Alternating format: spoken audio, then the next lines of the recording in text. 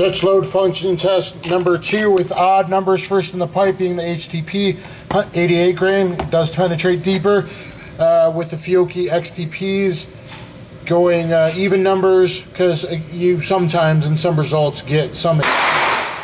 So uh, better either go with this or maybe Dutch load, though there is a little bit of a recoil difference. It seems the HTPs are a little hotter. It seems I'll have to do more testing. Uh, I fired eight last time, all one-handed, left-handed only. I might do a couple that way and then switch to two. I don't know what I'm gonna do. I might do some Mozambiques. We'll see whatever I friggin' feel like just to kind of test the combination out with the 8 round mag. Backups will probably be all So, five yards. Hey, back away, dude. Man, I don't want any trouble. No, I don't got any money, bro. Hey, stay away, man. Keep your distance. Jump there!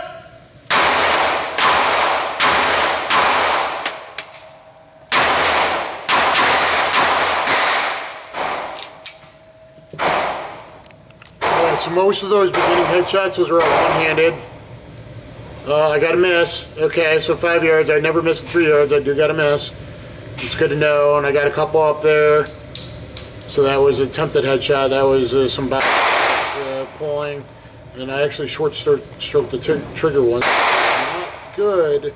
I don't usually do that. So uh, I'm not sure real recoil impulse, uh, you know, and stuff like that. A little different. So uh, anyway, function flawlessly uh, even Dutch, and so that tells me that this ammo is probably good to go in this gun. I should probably do a few more, and I probably will because it's cheap for a 50 round box of some of the best defensive ammo, if not the best defensive ammo, in my opinion. Now, after re restudying all the info out there, there's not a lot out there on that, but instead of like four. 13.5 to 16, you know, 15 and a half, depending on denim or bare gel with the XTPs this is this is uh, much further penetration 16 18 20 inches uh, in various tests various barrel lengths. So you do get some deeper penetration uh, with the HTPs and occasional tumble damage.